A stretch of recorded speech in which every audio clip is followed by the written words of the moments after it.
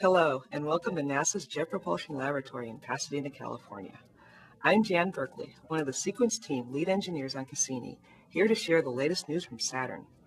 In our most exciting news, instruments on the spacecraft have found evidence of seas in the high northern latitudes of Titan.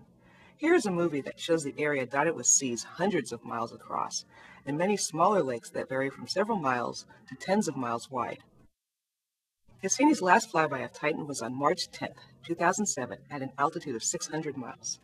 There were several objectives to this flyby. Higher resolution images of the area where the seas were found was successful. This area is just north of the equator and west of the bright area known as Xanadu, also seen by both radar and imaging instruments in previous flybys. In addition, Titan weather studies were conducted, mapping temperatures to determine seasonal changes, monitoring cloud motion and wind speeds. Scientists are still processing this data, so stay tuned. We will return to Titan on March 26th, this time at an altitude of 620 miles. This time, the flyby will include more temperature and global mapping, and spectral imaging in the ultraviolet and infrared regions. The area of seas and lakes will be mapped yet again, but at a lower resolution.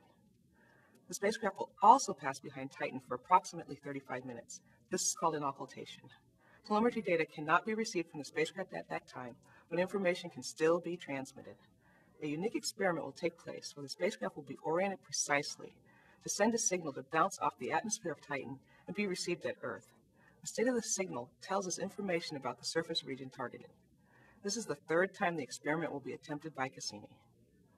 From Pasadena, California, this is Jan Berkeley with NASA's Jet Propulsion Laboratory and your latest news from the Ring Planet.